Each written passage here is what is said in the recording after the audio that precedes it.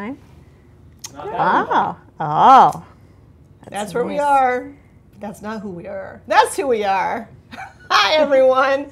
Welcome to Bedford TV News, coming to you live from Old Town Hall, talking about your town, our town, the lovely town of Bedford. We have props today. Very cute Um, props. we give ourselves props, but now we've given ourselves turkey props. You'll see why just shortly. Uh, I am Jen Pula. And I am Don Kachubas. And we thank you for joining us. Today is Monday, October 17th. Uh, we thank the Bedford Citizen, as always, for providing our news. And we remind you that we re air on Wednesday and Friday of every week on Verizon Channel 38. You think after two years I have memorized this? Comcast Channel 8, and also you can catch us on YouTube where we are live right now um, at youtube.com slash Bedford. I think that's why I started getting nervous because I see the live on there. Oh, so- really? It's freaking out. Has that live not always been there? It is. It just causes a, a sense of like it's like math test anxiety, you know. well, it's also and apparently every, every vote like counts. illuminated by the yellow turkey. It is, yes. So you'll have to make sure you listen. And we have lovely flowers here. I don't know if she's watching or not. That are um, provided by my lovely friend Jenny Duncan for her garden. So thank you, Jenny. Um, Those are from our garden. yeah, aren't they gorgeous? Yeah, they're beautiful. But we have a lot of really important stories to talk about today. And um, shocker about this first story. What are we talking about first? No, I thought everything was all set with the Fox Run PRD, but I guess not. Nope. Following months of hearings and plan revisions, some planning board members this week clashed with the development team over aspects of a proposed planned residential development, a PRD, off Fox Run Road. Is that turkey bossing you around, Jen? No, I'm just getting it ready for the next story. Okay. Seeking what he called a quote lukewarm conceptual approval from the board, attorney Brian DeVellis presented a slightly updated design in which the primary revision was an uncontroversial T turnaround at the end of the private road in place of a cul-de-sac. When presented at the last hearing on September 27th, the design, which proposes five new homes off Fox Run of around 3,200 square feet each, two new 4,000 square foot homes off Bueller Road, and one existing house to be converted into an, an affordable unit. It had been met with a general consensus of approval from neighbors and the planning board. But board member Amy Lloyd this week stood firm in her position that smaller homes would be preferable in this project because one of the purposes of PRDs is to provide a greater variety of housing types. The proposed homes, Lloyd contended, weren't dissimilar from other houses being built throughout Bedford. She challenged developer David Bernstein, observing from the back row of the audience, about the average size of houses he usually builds to underscore this point. Quote, I am not interested in looking at another large house development of the same type that we see everywhere else in Bedford, Lloyd said. It is not an alternative type. It's just the same thing that we're seeing. End quote. With all due respect, DeVellis said, that's where we started, referencing his original proposal of nine 2,000 square foot homes, which received pushback from neighbors who favored fewer houses and were less concerned about house size. Quote, the smaller number of units, the larger those units need to be. DeVellis and Bernstein have focused on appeasing neighbors who have vocally opposed the project. At previous hearings, more than a dozen neighbors lined up to speak passionately against the development. But after months of private meetings and compromises, only two residents spoke this week, and they were not in opposition. Quote, I actually like the size of the home. It actually probably is addressing a bit of a need in this town, suggested resident Aaron Boret, a newcomer to Bedford, who recently went through the house hunting process here. So more about the Fox Run Road development. During a straw poll, Sandra Hackman was the only board member who spoke in agreement with Lloyd. Quote, the way houses have been for 50 years is not the way that they're necessarily going to be for the next 50 years. I think it's really important to have alternative styles of housing because the bylaw asks for it and because people need it, end quote. Hackman said, though she acknowledged it was likely too late in the process to renegotiate home size. Lastly, she said, We closed that door, I think, a couple of meetings ago, so this is where we are. Lloyd also advocated for minimizing or reorienting garages to emphasize the development's human scale, and Assistant Planner Catherine Perry raised concern about a zoning bylaw requiring a duplex or other housing type to be included in a PRD. The Fox Run development has reportedly prompted residents to lobby planning board members outside of public hearings, an indication of the high tensions around new development in Bedford. Issues raised at this week's hearing demonstrate Bedford's ongoing grappling with the purpose and appropriate implementation of PRDs, which are intended to promote preservation of open space and encourage a variety of housing types. The development team will present a detailed plan on November 15th at the next continuation of the hearing. But wait, that's not it about Fox Run, apparently. A lot of news in housing. Bedford's Housing Partnership considered the affordable unit at the Fox Run development and heard a preliminary on the progress of the town's negotiations for the Coast Guard housing at their meeting on Thursday. At their October 13th meeting, the Bedford Housing Partnership voted to recommend to the Planning Board that the home at the corner. You will not dominate me, Turkey. I didn't know it was a new shot. you were- Sorry. You have to maintain Decorum. your dominance over the turkeys. Uh, Bedford Housing Partnership voted to recommend to the Planning Board that the home at the corner of Fox Run and Springs Road be maintained as an affordable unit in perpetuity as part of David Bernstein's Fox Run development. It's a cute house. That is a cute house. The issue was whether or not to recommend retention of the home versus tearing it down. A concern was that the home, stand down, turkey, built in 1928 might mean higher maintenance and heating costs for a prospective owner. Housing Partnership members Lisa Mustapich and Christina Wilgerin reported that they had toured the property inside and out and were convinced that pending certain improvements specified in the inspection report, the home would be a desirable affordable unit. Most affordable units are rental, and this is a rare opportunity for someone to own an affordable property. Bernstein clarified that the current proposal for Fox Run has now been scaled back from the original 13 single family units to seven five on Fox Run and two on Bueller Road, thus reducing the density of the development. Note there will be a third public hearing on this development at the November 15th Planning Board meeting. Our housing news is still not over. So, a little bit of uh, encouraging news. The Housing Partnership, this is payback, you know. the Housing Partnership heard encouraging news from Assistant Town Manager Mike Rosen on the Coast Guard Housing Project on October 13th. Bedford's Town Counsel is now speaking directly with the Coast Guard's attorney, which is helping to speed up negotiations. Rosen indicated that the proposed purchase price. Is he dancing? He's shaking his head at you in disdain. Okay. Um, Rosen indicated that the proposed purchase price is acceptable to the Coast Guard. Discussions on sale price have taken place in executive session and the Municipal Affording Housing Trust meetings. I'm very poised as a co-anchor, if you can't tell. I'm completely ignoring what's happening out of my peripheral vision. Now it remains to, uh, for details to be worked out. Rosen has revisited the request for proposal, an RFP, which will be released to developers as soon as the town gets the go ahead. Bedford already has a list of developers who have expressed interest in acquiring and developing the property. The RFP will also be advertised on the town's website, in the press, and in the state's Goods and Services Bulletin. The Municipal Affordable Housing Trust will interview the top three developers in meetings that will be open to the public. All those responding to the RFP will have copies of the executive summary of the 2014 charrettes, which gives clear guidelines as to how town residents would like to see the property developed.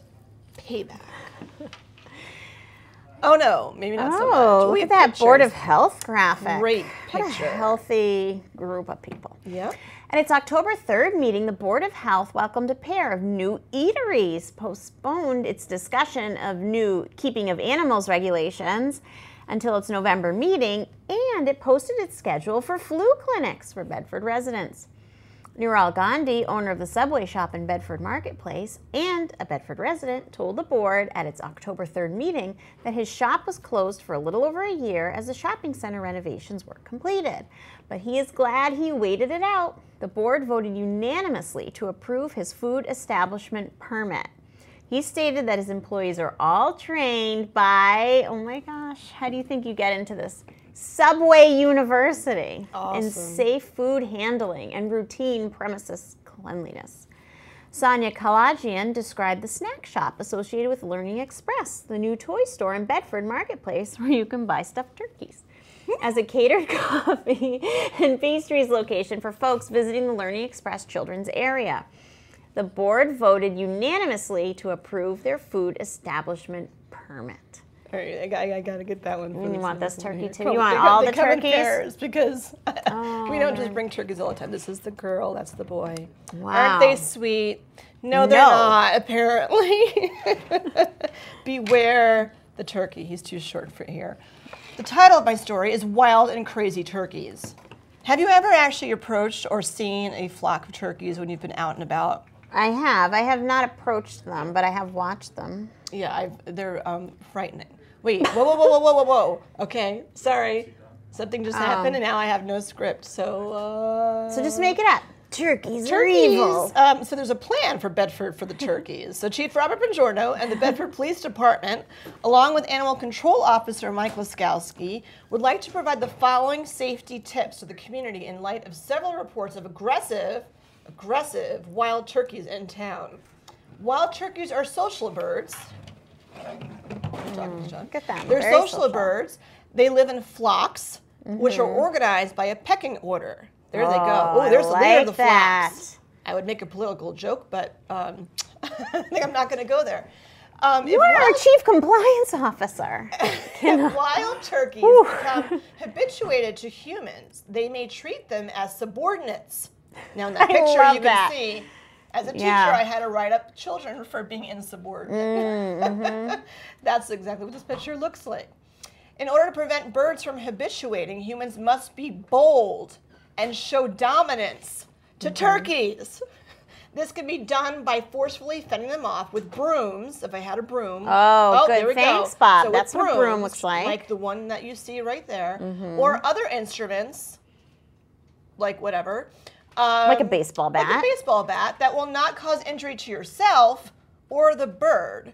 So I guess Mm, Maybe you a have to be wiffle ball bat. Maybe a wiffle, Wiffle ball ball bat, bat, and, and a light broom.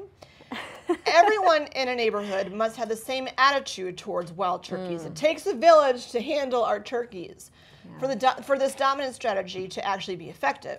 So each and every turkey must view all humans as dominant in the pecking order. Otherwise, they will view only selected humans as superiors and others as subordinates. Once this behavior is established, it can be very difficult or impossible to change. So we must work together as a town of Bedford to be on this bold mission. But I think it'd be more fun to punk one of your neighbors and make that neighbor be the subordinate to all the other turkeys. You know what's so frightening? It's like you had the clown thing, and now it's Yeah, turkeys, and and it's turkeys, Halloween time. So now every like kid is going to be scared of turkeys and clowns. You know. Mm. Mm-hmm. Anyway, to prevent wild turkeys from habituating in your neighborhood, which is our neighborhood, Bedford Police Good one. and um, sorry, I thought I read that twice, but I'm not. Uh, Bedford Police and Animal Control Officer Laskowski advised residents to follow safe, several safety tips from the Massachusetts Division of Fisheries and Wildlife. Do not approach, feed, pet, or try to interact with wildlife, including turkeys, coyotes, or other wild animals. coyotes. Come here, little doggy. anyway, do not feed wild wild turkeys. Never deliberately feed wild turkeys to attract them to your property or to keep them around. Turkeys can survive very well on natural foods and do not need assistance from people, you, me, or anyone. Remove or secure all potential sources of food. Are they out of shot right now? I just it'd be better if you're facing Remove the camera. um, nice. all, oh. or secure all potential sources of food, like your garbage cans and things. Don't tempt or attract wild turkeys by allowing them to feed on seeds that have spilled from your bird feeders. That could also attract bears too. Residents. No, that's true. Bears? Are there bears here? I don't know. I'm, I'm a New Yorker, so that's why the name. yeah, there are bears, but Residents with Wow. questions or concerns regarding wild turkeys in Bedford should contact Animal Control Officer Laskowski at 781 275 1212. Take this seriously, people. Be bold and dominant. So we are not the subordinates. Lauren and I wrote a children's book about the turkey that was afraid to fly. That's very sweet. It was a nice turkey. That's But we remained dominant while writing the book. that's good. Let's talk about Lane School. The Celebrating Differences program returned to Lane School this week thanks to Best PTO and SEPAC, Bedford Special Education Parent Advisory Council. In a series of workshops on Thursday and Friday mornings, all of Lane School's 600 students gathered mm, give or take, it's not actually 600, gathered on the back field to begin a dialogue about ways individuals learn and play differently. After a welcome from their fearless leader, Principal Rob Ackerman, the sessions began with a read aloud time before everyone broke into small groups to participate in one of two activities. In the scavenger hunt, members of the group were assigned a disability, and the challenge was in finding ways to work together with various impairments visual, oral, physical, and speech, while gathering the items on the scavenger list. Students paired up to help complete the task and find everything on their list. Later, they came together to discuss what was easy about this activity and what was challenging, and why including everyone was important. In the web of friends, a ball of string was tossed from one student to another around a circle, creating a web and connecting the students to each other. Each time the string was tossed to another student, he or she told something about the person to whom they were sending the string, something positive about that person.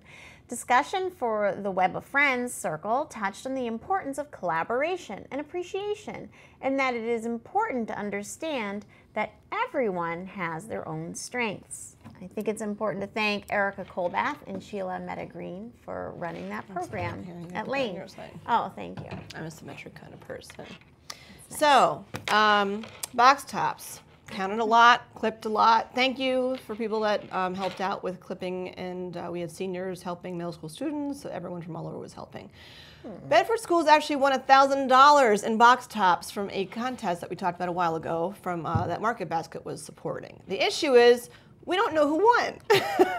someone won at Davis and someone won at the middle school. Um, lots of mysteries. So um, pause because I'm not quite there yet. So, I know I'm ad libbing here, but um, so we need you to tell everyone that you can think of if you know someone that entered the contest um, to email us, Check which I think email. everyone yeah check the, check your own email to find out if you won because the only way to actually get the money is to verify it in your email. Um, I put it out on Twitter. It's on our Facebook page, Bedford Box Tops for Education. So just write a letter, or not a letter, a note that say, "Hey, it's me. I won," and then we'll know. And then just look for the email. Um, but it's sponsored. I just bit. Ignore that. Uh, it's sponsored by Market Basket. So look for that in your email. But we have to know who the winners are. Otherwise, the thousand dollars is not ours anymore. Uh, Davis and Lane, by the way, on a side note, their collection is going to be on Friday for their October contest. That's it. I know. I just gas leak. Jeez, that's scary. Is that because I spit on the table that you put gas leak?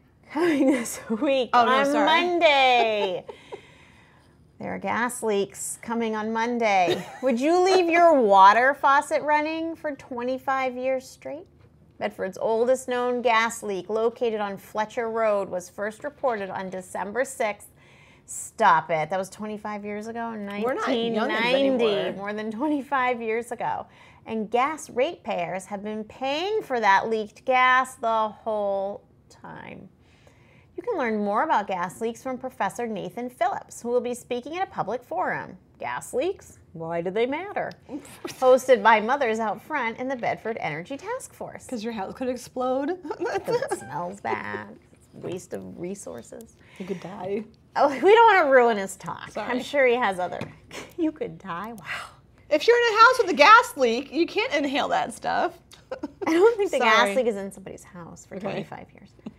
that Um, wouldn't last. So Jen will be going to this talk next Monday after the news. The forum will take place tonight at 7 p.m. in Town Hall's multi-purpose room. That's a new location.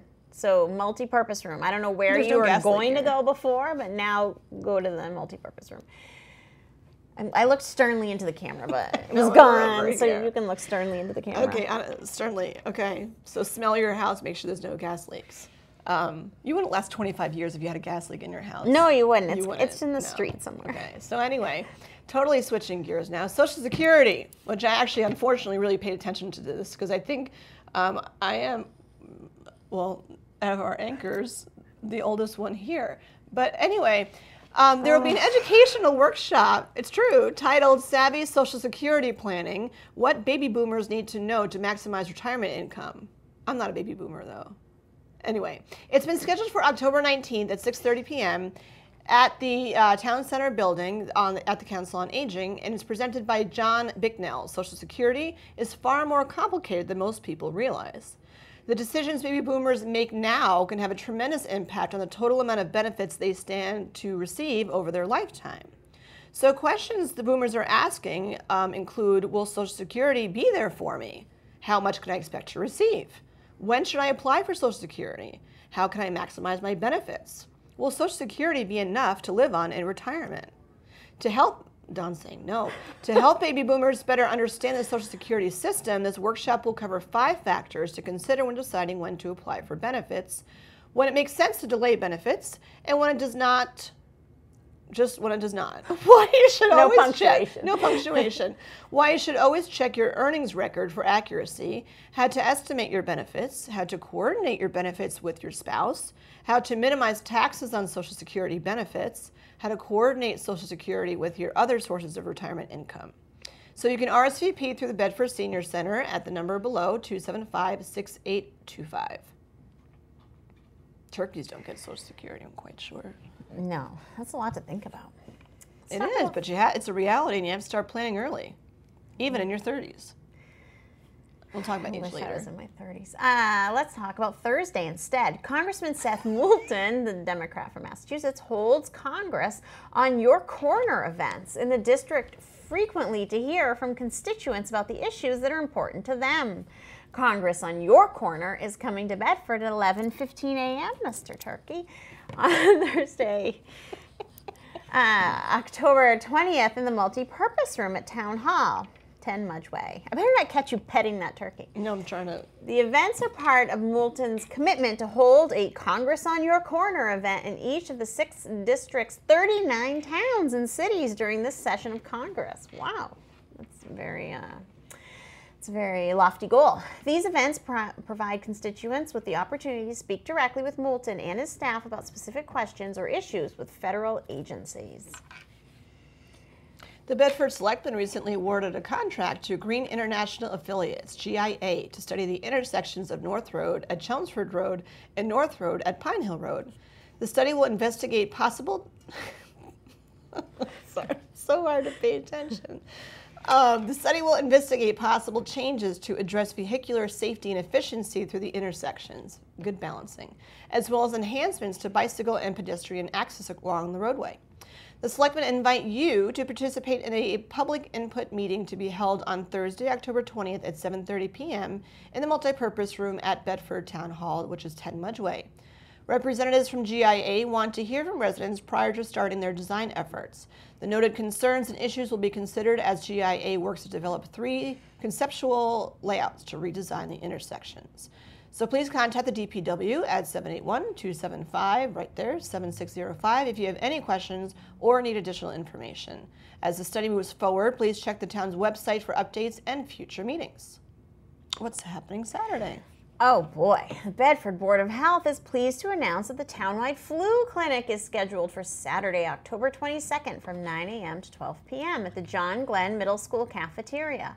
If you'd like to save time, print and complete your flu shot registration form in advance of the event by navigating to the Bedford Board of Health website, bedfordma.gov/health.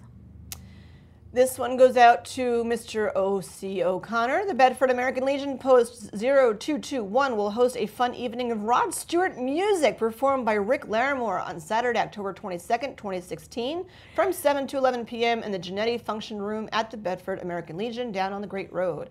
The festivities will include dancing, OC will be dancing, maybe, maybe not. A cash bar and appetizers. Tickets are $20 prior to the event or 25 the day of the event and can be obtained in the Legion Members Lounge at 357 Great Road, Bedford, where you could probably find OC.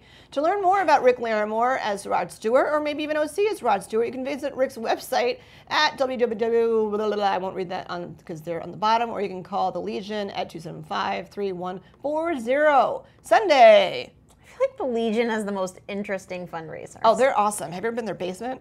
That sounds weird, but they have a really cool basement. I'm not. All right, we're running short on time. Okay, the next World of Music concert from Middlesex Community College will take place at 3 p.m. this Sunday at the MCC Concert Hall. Yelena Berieva is a pianist who has touched the hearts of listeners all over the world with her powerful yet graceful performances. Yelena Berieva will perform a recital of works by Modest Mussorgsky, Frederick Chopin, and Claude Debussy. All concerts are free and open to the public. And now, to find out what the weather will be for your flu shot on Saturday, we turn to our good friend Maria. Thank you. A surge of warmth will invade the eastern United States this week, putting decades old temperature records at the risk of being broken. A large section of the nation extending from the southern plains to the Ohio Valley and into the northeast and mid Atlantic will experience temperatures 10 to 20 degrees Fahrenheit above average each afternoon over the next few days. In some cities, high temperature records will be broken. Here in Bedford, the air will feel more like the beginning of September rather than mid October. Record temperatures were observed Sunday across the High Plains and several cities, including Amarillo, Texas, Roswell, New Mexico, Colorado Springs, Colorado, and Wichita, Kansas, experienced record October warmth. Additional records will fall Monday across the Mississippi Valley and Plains before the warmth shifts east on Tuesday and Wednesday. Focusing on the Northeast, the Mid Atlantic, and the Southeast, on Tuesday and Wednesday, New York City, Philadelphia, Baltimore, and Washington, D.C. could watch records fall as, oops, as temperatures reach well into the 80s. Some records are in jeopardy of being broken as they've stood since the 1900s. In addition to the daytime temperatures being above average, overnight lows each night are in the middle and in the middle of the week will be exceptionally mild as well, dropping into only the 50s and 60s across the northeast. In some areas that have already seen their first frost and freeze may not see the temperature drop below 55 through Wednesday. With several chilly nights occurring this past week, many people have started to dig out their winter jackets and coats. However, you can put those aside for the next few days this week and they'll be replaced with more summer-like clothing. With high pressure in control, dry weather and sunshine is expected early this week across the plains into the northeast. This will provide beautiful weather to get outside and to enjoy fall foliage or attend local autumn festivals. The upcoming warmth stretch could have a negative effect on the leaf color, leaving the leaf peepers disappointed. Mild days and cool nights are usually ideal when it comes to the best foliage colors. However, days and nights this week may be too warm and could cause the colors to become more dull. The dry weather is bad news for New England where the drought continues. The next chance of rain may come during the second half of the week across the Northeast. The storm system may form along a slow-moving cold front across the region and could deliver a round, and so a round of soaking rain Thursday into Saturday, which is the day the flu shots are. As for the warmth, cooler air will follow behind the system and this weekend and will help bring temperatures back into normal or slightly below normal. If enough cold air is pulled southward out of Canada, the northern Great Lakes could get their first snowflakes. Yes. For our forecast on Monday night, passing clouds, low of 56. Tuesday, a mix of sun and clouds, warm with temperatures near 80. On Wednesday, warm with more sun than clouds, 82. Thursday, cooler with showers, 68.